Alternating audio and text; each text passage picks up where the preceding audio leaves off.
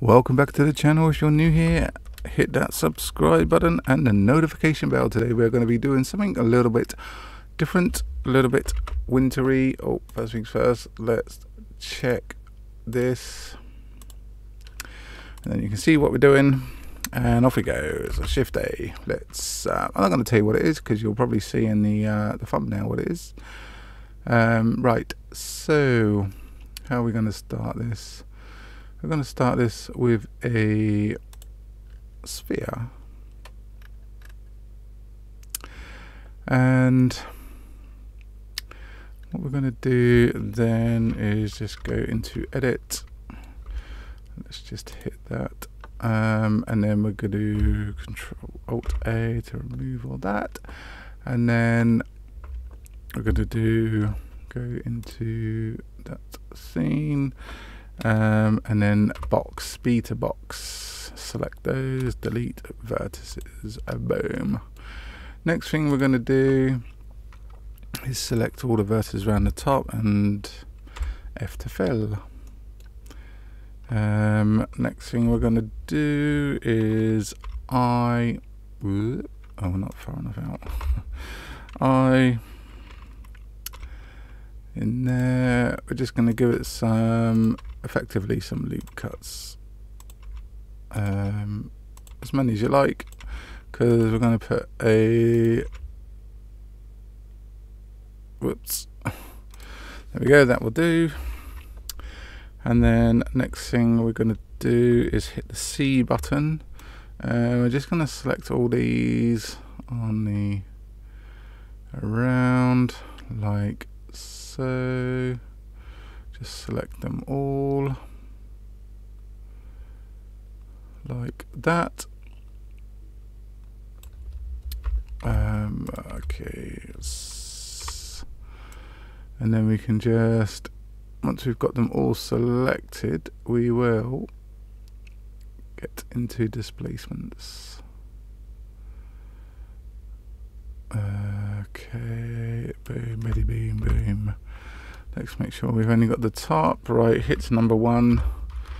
And then what we're going to do is add that as a vertex group. Let make sure it's there so that's that. Um, we're going to add a modifier which is a displace. Um, new go into texture change it to clouds. So it will be like that. But what we're going to do is go back into modifier and select our group. So we're not affecting the bottom piece only the top piece. Okay and then back into here. Um, and then let's go back into there and just adjust the strength like that um, we're going to add another modifier, which is just the subdivision surface. Notch it up one. There we go. And then that looks like snow. Um, shade smooth.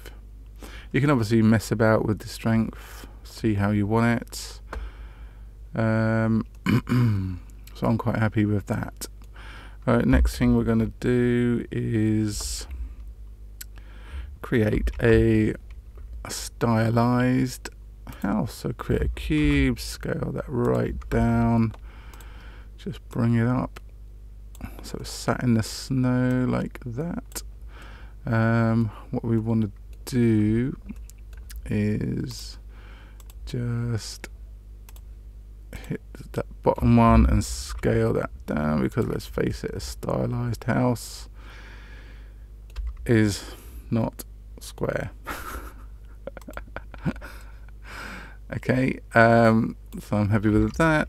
Um, I'm going to do a loop cut down the center there and just select that top edge and just bring it up like so um, we're going to chuck another loop cut here and here um, and then select those ones and just bring it down and then control B and we can bevel and then just chuck in some segments so it gives it a nice little slant like so. It may oh, what we need to do is control A and all that, that hit that top one control B. So it gives it a nice little edge at the top there.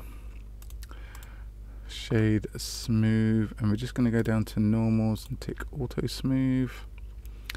Like so. Now what we're going to do what I'm going to do here is add a few manual tiles. So shift A I'm going to chuck in a, another cube.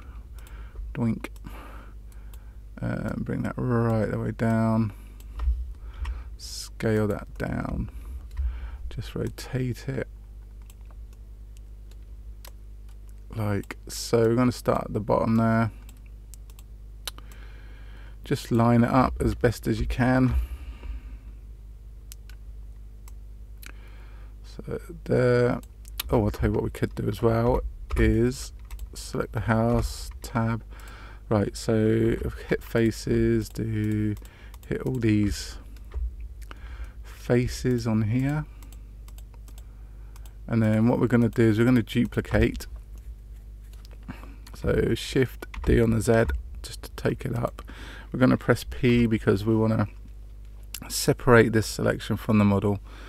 Um, okay, select the model, select the roof bit, go into modifier and hit on solidify. So it's given us a, a, a roof, um, but we can hit apply and then we can edit so basically what I'm going to do is just like a real roof we're going to have the overhang um, like that and then we're just going to ex we don't need to extrude we can just bring it out like that and we'll just do the same on this side so we're just going to bring it out again um, oh, I suppose you don't have to do that actually. But we're there now. And just bring it out. Okay, and then that one, just go into normal. So then you'll be able to bring it down like so. And then the same on this one here, just to bring it out. There we go. And then we can just bring that down on there so we've got a nice little roof that we can put our tiles onto. Now obviously you can change the shape of the tile, you can pretty much do whatever the, the heck you want to do. So I'm just going to start off in the center here, like so, and then just bring it down. Okay, and then just shift D on the X. And then you can just tilt it like so. Let's just focus on that um, and then just keep going until you reach the top. So shift D on the X. Boom biddy boom. Shift D on the X. Like so. Obviously we need to start rotating them as well. Shift D on the X. Up and rotate. Shift D on the X until we get to the top. And rotate. Like so. Shift D on the X. And just rotate that one that way. Kind of like that. And then we can just grab all these. Oh, I'll tell you what we'll do um, and then we can shift D on the Y shift D on the Y and then we can do one, two, three, four. Shift D on that Y. Kind of like that, and then if you select all of them, like that, just press the C button to use the selection tool, circle tool. Okay, escape to come out of that tool. And then if we go back to global, we can shift the RZ180 and then just shove it over here like so. And then you can do so. Do know, we'll that in a minute. Um, right, so now we need a doorway Oh, where the hell did that happen? Don't want that. Shift A. Let's create a another cube. Scale that right down, and like that. And then just bring it on in. Let's just rotate it around a bit so it falls in line with the house. Okay, so there's the doorway. Now what we're going to do is um, control A, so all transforms, let's edit. Let's go, right, we need yep, faces and we just need to select this front face and the back face. If you're not sure, you can see all these little points, these little black dots. So select the front face and the back face. And then we can do I for inset like so. Right click bridge faces tab out. And that's our doorway.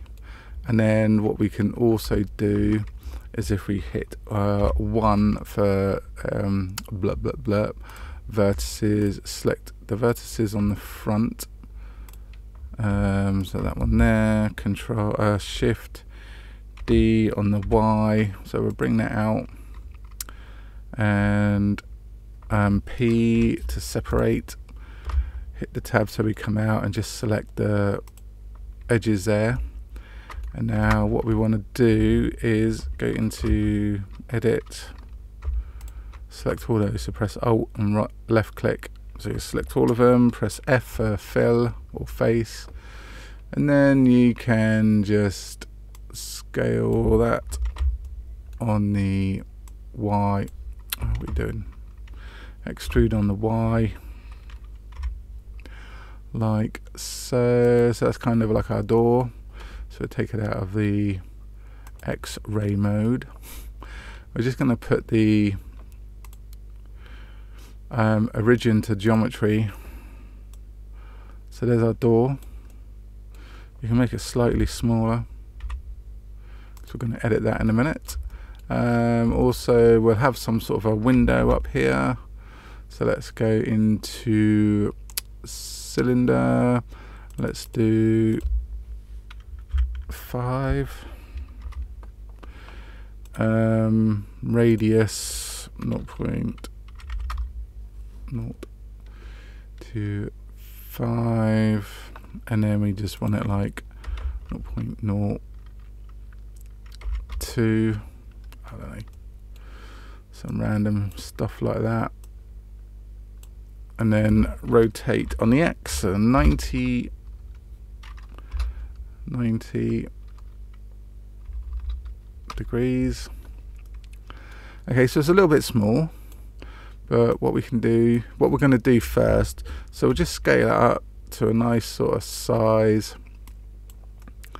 Um, but first of all, I want to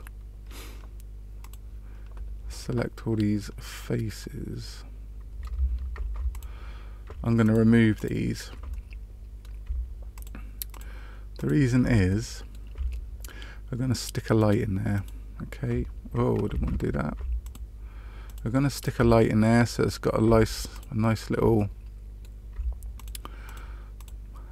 internal glow. Okay. So we've got all those selected on the inside. As you see then again I selected on the dots. We're just going to delete and we're going to delete faces.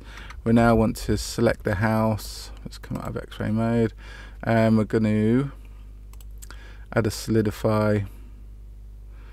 Um, so basically if we move this you can see the room there. We've now got a bit of thickness on the walls so you can change that as thick as you like but we're just going to keep it to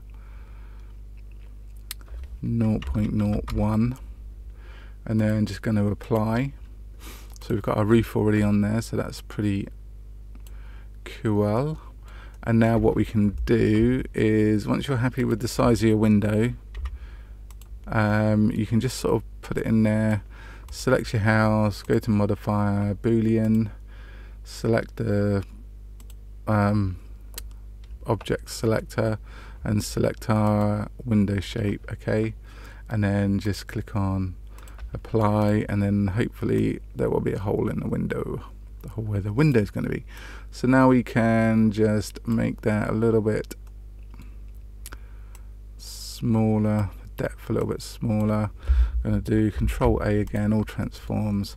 Go into edit make sure faces is selected. We're going to select the front and the back face hit I to inset.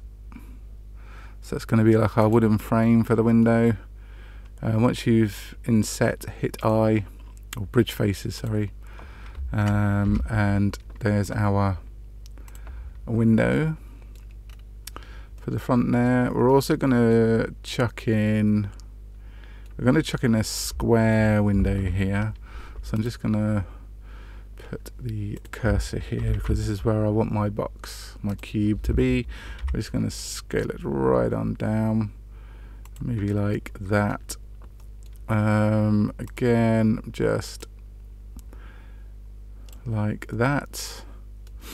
Um, just angle it, and then um, once you're happy with the size of your window, um, maybe have it sort of more central. Um, hit the the house again. Um, select boolean.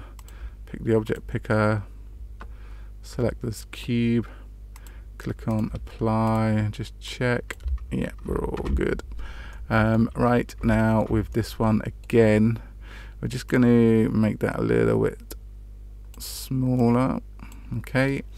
Um, I'm going to do Control A again, all transforms, hit the edit, um, faces. So we want the front and the back. We want to I to inset. Bada bada boom. Right click and bridge faces. Um, that's our window here. But also what we're going to do on our window, let me just come out of that mode.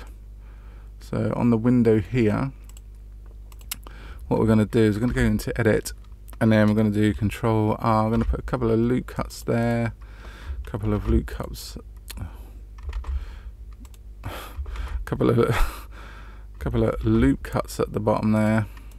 So we've got those two selected. Do Shift and Alt, select those as well, and then we're just going to scale on the Y. So this is going to be like the window frame.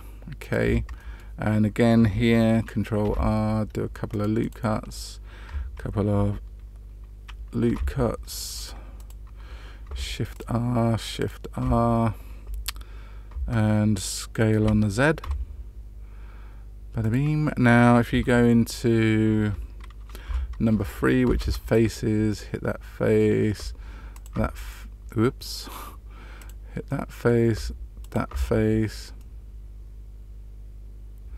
what the hell's going on there? Oh, okay, so um, go into normal. Oh, even that's not working. Okay. So we need to Alt and select top one, Alt select bottom one, GG on the Z and then Alt Shift Alt GG on the Z and bring that one up. Okay, so GG that will make the loop cut run up and down on the actual thing rather than you can see here our Z is where we've slanted the frame but our Z is still straight up. So that's why it was a bit of an odd shape whereas if you do GG it will go along that slant okay? Um, so hit number three. We want that face we want that face. We want to bridge faces. So that was right click and bridge faces. Do it again the same for the top and the bottom. Right click bridge faces. So there we go on that but we're not going to stop there because obviously we want to you know we want to add in a little bit of character. So we're just going to select these edges the corners uh, maybe the inside corners. And we're just going to give it a little bevel.